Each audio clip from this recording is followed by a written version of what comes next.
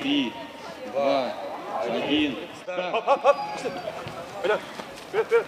Со старта собака тянет человека и вроде как помогает бежать. Все меняется пару-тройку испытаний спустя. С двухметровой высоты питомцы не спешат прыгать вслед за своими хозяевами. Приходится уговаривать, тащить или действовать хитростью.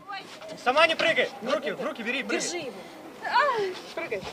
Там мелко. Все, давай, давай, давай, давай, давай, давай, давай!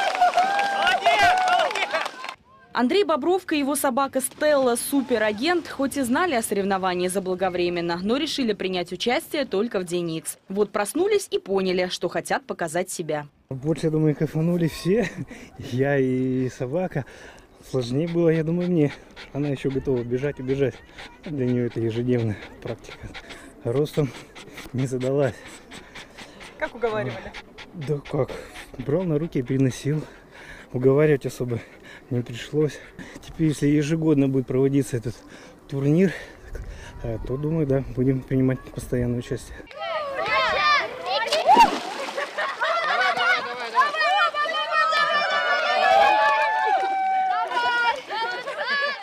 Юлия Горбачева и ее зверюга Баксюша участвуют вместе в каких-либо гонках впервые в жизни. Юлия очень рада, что песик хоть и дрожал большую часть пути у нее на руках, но очень помогал морально. Вообще сподвигли коллеги по работе, МЧСовцы, мы все с МЧС. Они участвуют в командном забеге с хасками. А так как у нас все мои домашние собаки уже старенькие, решили выбрать его, он самый молодой. Ну, не подкачал ни в чем. Все препятствия прошли вместе. Поэтому нисколько не жалею, что с маленькой собакой участвовали. У него выбора не было, но он всегда за хозяйку. Он везде, всюду в огонь и в воду. Да, Баксюш?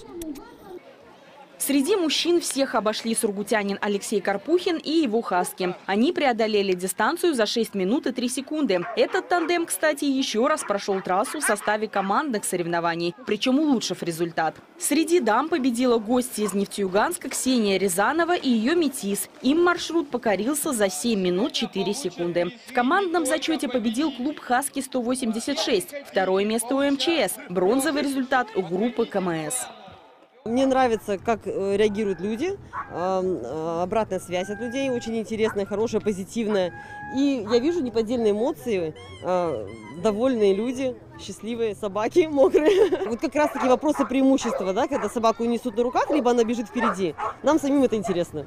А уж как интересно было многочисленным зрителям, которые неустанно щелкали фотоаппаратами всю гонку. А это значит, что на следующий год есть смысл снова рвать когти и конкурентов на таких же забегах с препятствиями. Состав участников, кстати, расширят. Пустят побегать и попрыгать и детей, и подростков.